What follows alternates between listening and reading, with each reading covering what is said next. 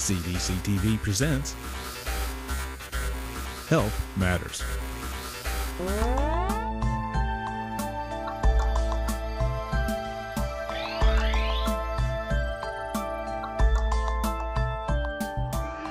In the U.S., nearly 17% of all children experience some form of developmental or behavioral disability.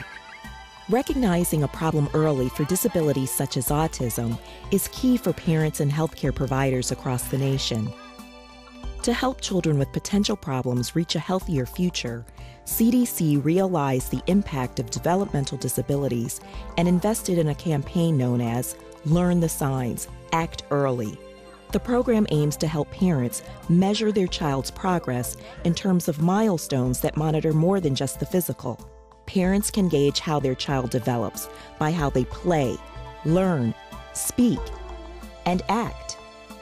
When a parent is worried that a child may have a developmental problem, there are a number of things they can do. They should talk to their child's doctor, contact the early intervention agency if their child is under the age of three, or contact their local school district if their child is over the age of three.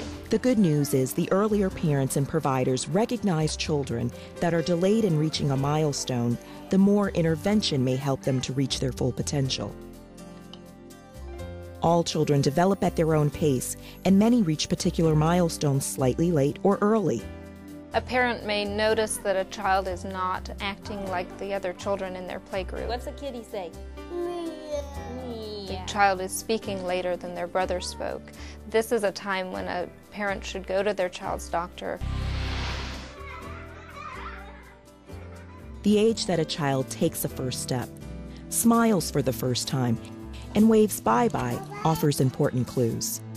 A delay occurs when a child reaches a milestone at an age later than the average developmental Right rate. with your foot. Now show me with your finger. By eight months old, a majority of children turn their heads upon hearing their name, smile back when someone smiles, and enjoy playing games like peekaboo. 18 month olds can engage in simple pretend play, point to an interesting object, or speak in single words without prompting.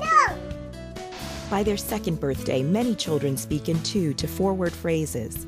It's Gina's turn. It's Gina's turn.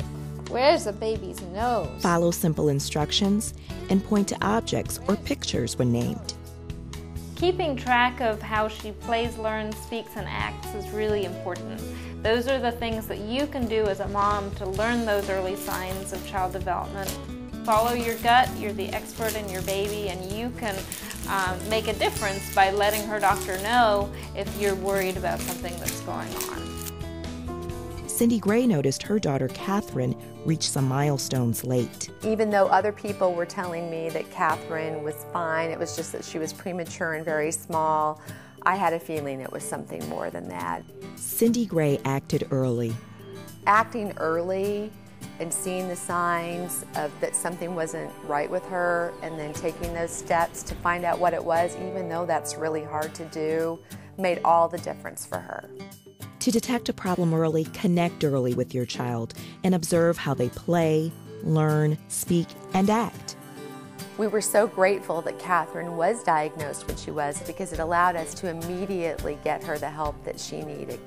If you suspect a problem, act early. If your child's development seems to slow down or your child loses skills, seek a doctor's advice immediately. Most of the time, a developmental problem is not something children grow out of on their own, but with help, these children can reach their full potential.